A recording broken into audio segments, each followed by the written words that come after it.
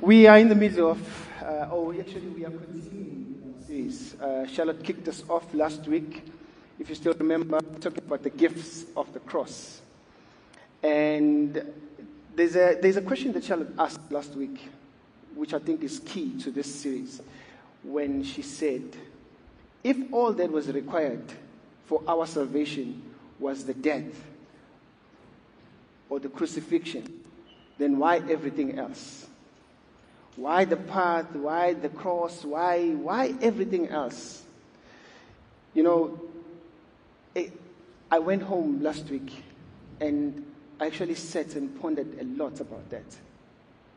Because it, it brought to mind 1 Corinthians chapter 11. Let me just read it. 1 Corinthians chapter 11, verse, uh, I'm going to start from verse 23. Says, For I received from the Lord what, sorry, for I received from the Lord what I also delivered to you, that the Lord Jesus, on the night when he was betrayed, took bread, and when he had given thanks, he broke it and said, This is my body, which is for you. Do this in remembrance of me. In the same way, also, he took the cup after, after supper, saying, This cup is the new covenant in my blood.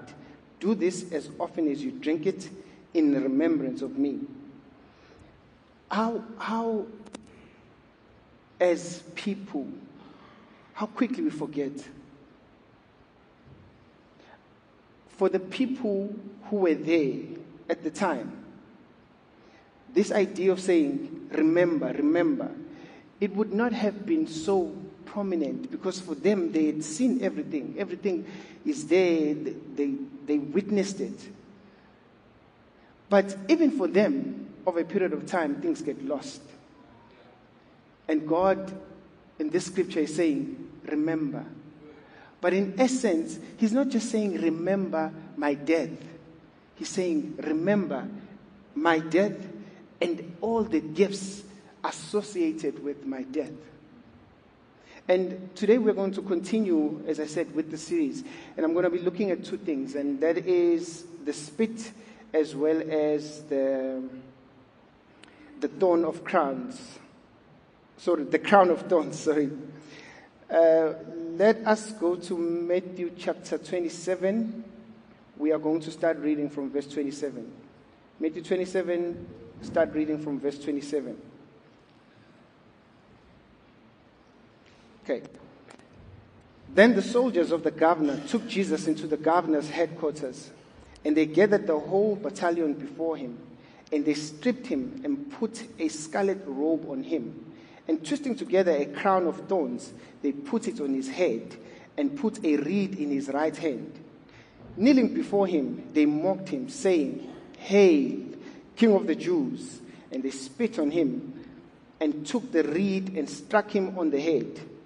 And when they had mocked him, they stripped him of the robe and put, and put his own clothes on him and led him away to crucify him. Charlotte also went through just a summary of the story.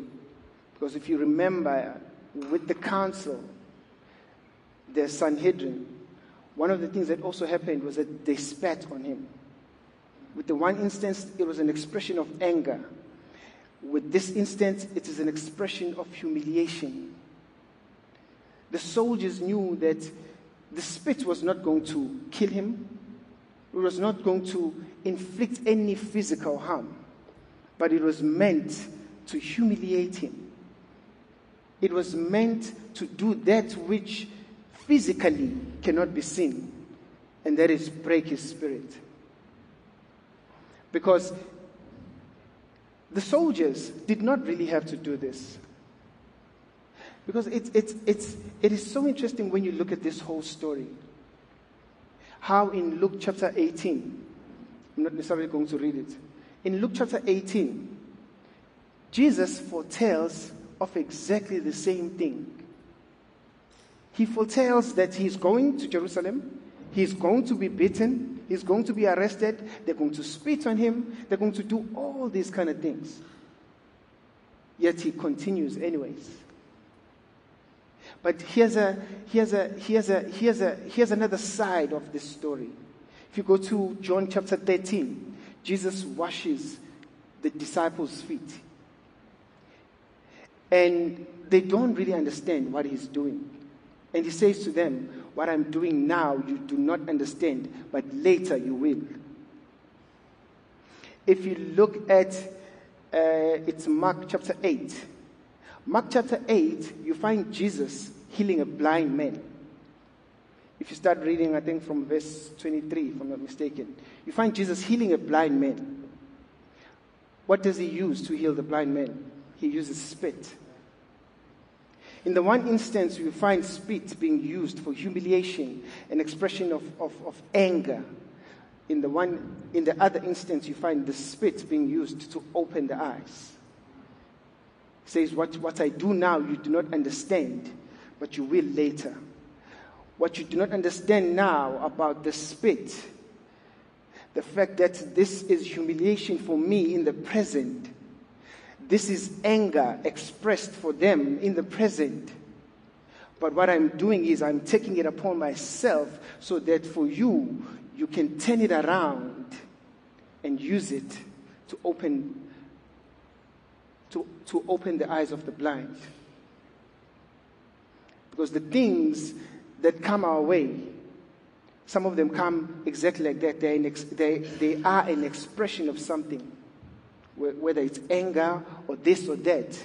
But Jesus is saying, I am the example for you in terms of how are you supposed to carry these things.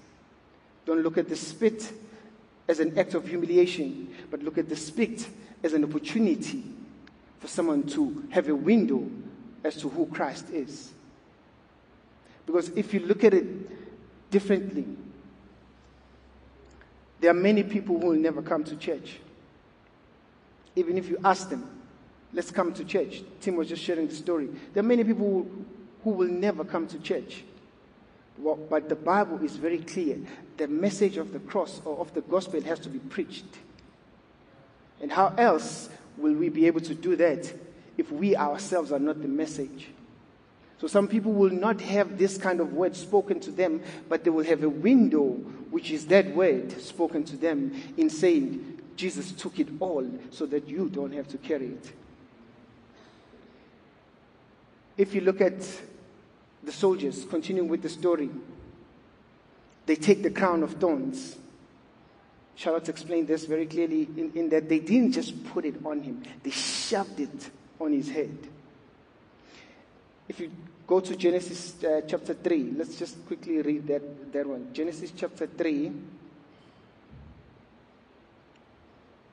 You start reading from verse. Um, start reading from verse 17. This is after the fall, when they've been discovered, and God is now speaking to them.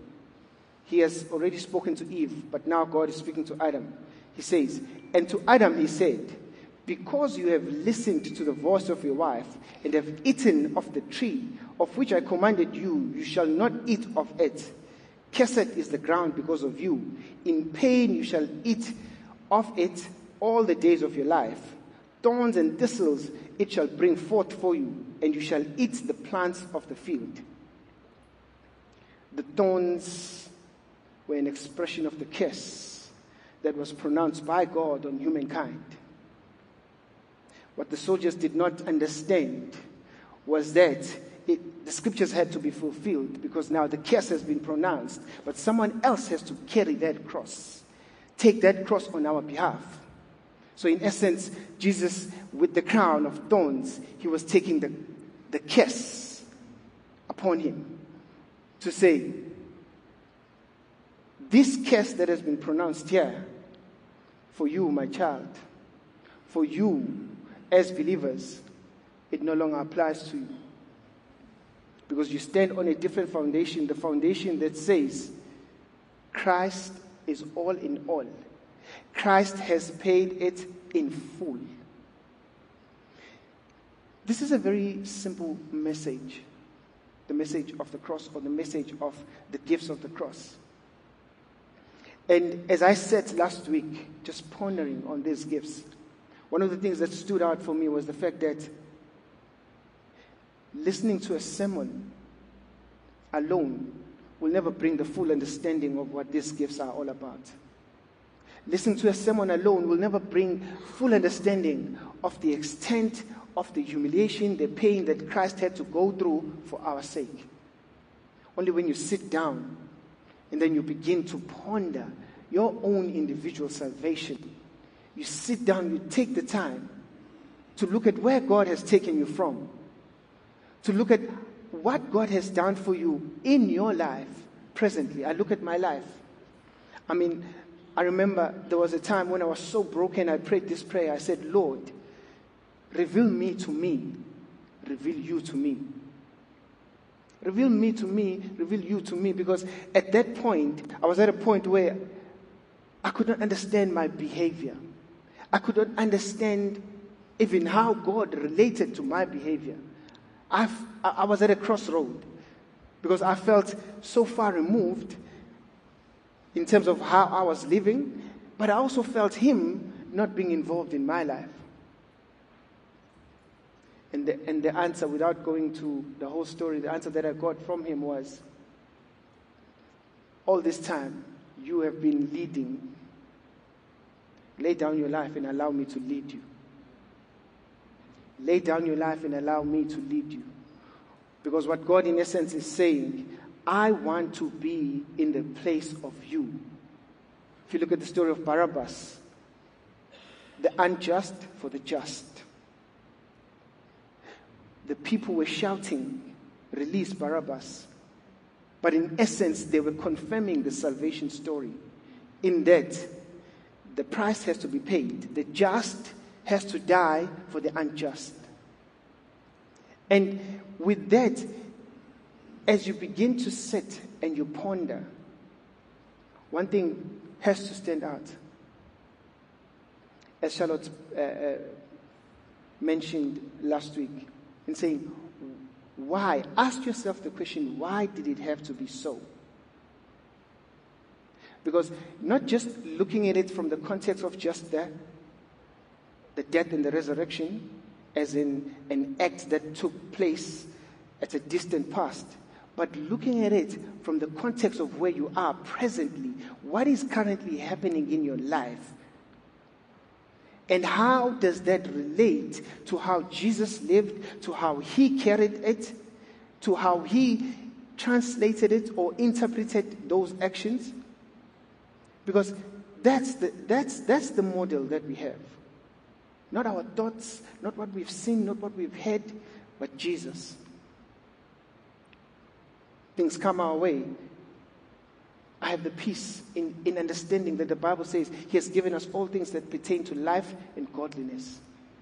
He has already given us all of those things because He has already carried all of those things for us. Hebrews chapter 4 says, Let us then approach the throne of grace with boldness. We approach the throne of grace with boldness not because of our deeds. Someone once mentioned this to say that we are so deceived especially when it comes to our deeds, because when I've done well, my hands are lifted high. I come running to the house of God. When I've done terribly, I'm at the back because I feel like I, um, I'm, I'm not in sync with God. If, even if maybe, for example, someone can say, Come and pray. You'll be like, No, no, no, no, let someone else pray. But all of those things, as I said, Take the time to ponder. Because God, in essence, is saying, That is not how I want you to live. I have taken your place so that you will live in my place. There's a story of the twins. These twins, one was living a, a just life, going to church, serving the Lord, and so on. The other one was out there in the world, doing all sorts of things. And what happened was this other twin that was out there in the world killed someone. And they ran back to their house. The other one was sitting at, at home. The other one came in, clothes bloodied, and so on. And when he, when, when, when he came in, he, he related the story. This is what I've, I've just done. Then the other twin said, My brother, take off your clothes. He didn't understand. He took off his clothes. Then he also took off his clothes. He gave him his clothes and he took the bloody clothes and wore them. When the police came, because they're identical twins, they assumed that this is the one. So he went off to jail and this one continued. Now, the moral of the story there is that this other brother now is sitting and, and pondering this act, and the other one said, I have taken your, your punishment. I have taken over your life and, and the guilt and the consequences of, of how you lived. Live my life in my stead. That's Jesus. I have carried the shame. I have carried the curse. I have carried the humiliation. But be an expression of who I am. Don't look at life as you would have outside of my death and my resurrection. When things come your way, Jesus says, uh, sorry, in 1 Corinthians 11, do this in remembrance of me. So it means someone is doing something very painful and, and, and difficult. Before you instinctively respond, just point at the cross. Just point at the cross and the death and the resurrection and what it means that you now have to face this person who is inflicting so much pain and so much harm because look at Jesus. He didn't do anything to any one of us. And he had to face humiliation from all of those people. He didn't deserve it, but he faced it anyways. And that's why standing here, we stand not because of our works, because of how qualified we are, but we stand because we are just surrendered. We stand because we fully understand that only in Him are we made perfect. Only in Him do we have hope for glory hope of eternal life. So this morning, church, that's, that's, that's my message, a simple message in saying the gifts of the cross as we continue with this series.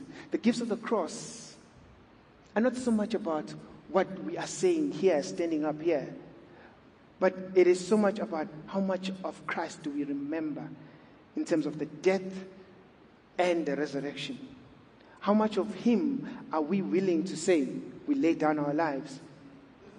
and we surrender to Him. Let's pray. In Jesus' name, our King, you are honored, you are glorified forever. Words alone, O King, can never, can never be enough. That's why, Holy Spirit, everything pertaining to us, Lord, we lay down, trusting you to be our teacher. Not to walk out of here, Lord, with this sense of what the message was about, but this sense that says, Lord, you have spoken. Because you have spoken, we want to hear what you are saying. And because you have spoken, O King, it is life. In faith, Lord, we live our lives and help the Holy Spirit to continue to live that way. In Jesus' name, amen.